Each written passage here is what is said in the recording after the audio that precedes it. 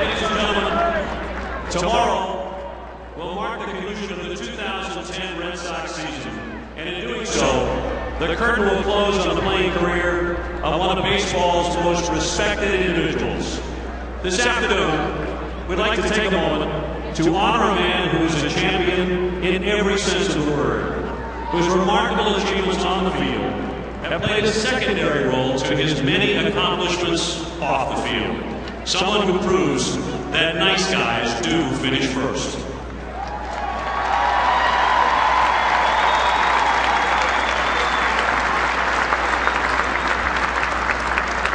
Joining us on the field are a few people who are here to help celebrate Mike's great career. Please welcome Red Sox principal owner John Henry and his wife Linda Henry.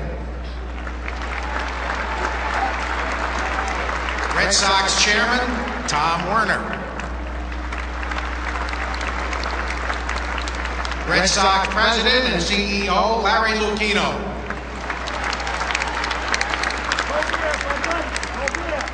Red Sox manager Terry Francona.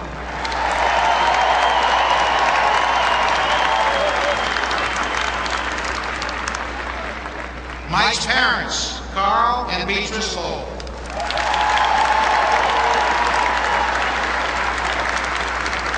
And Mike's wife, Bertha, and their two children, Alexis and Anthony.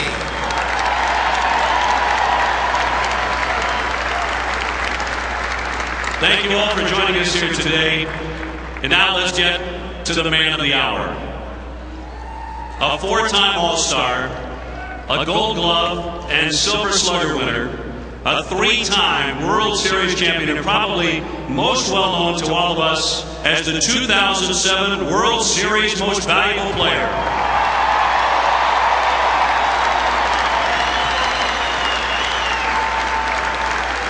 He will also retire at the end of this weekend as baseball's all time leader in third base fielding percentage.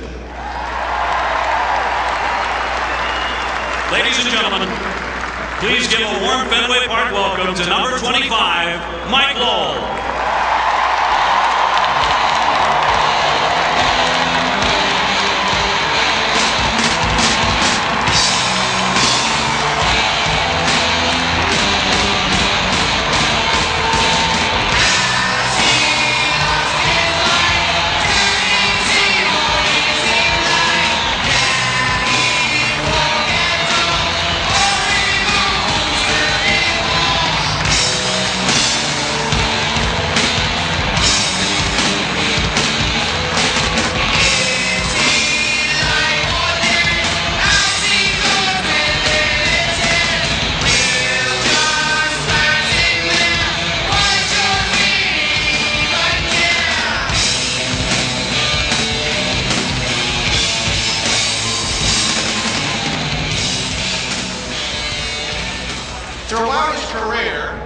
Has created a strong bond with his teammates that's led to lasting friendships.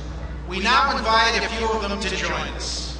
First, we welcome a member of the Florida Marlins 2003 World Championship team and a teammate of Mike's from 1999 to 2004. Catcher Mike Redmond.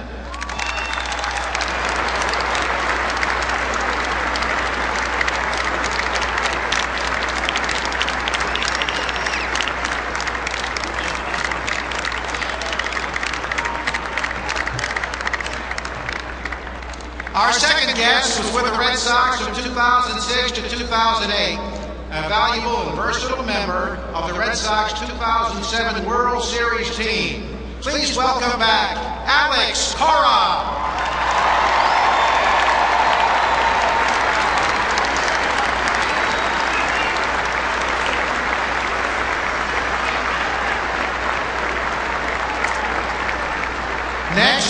We invite a current teammate and longtime friend who has been with Mike since 2001 and was part of the same trade that brought them to Boston in 2006. Representing the 2010 Red Sox, please welcome pitcher Josh Beckett.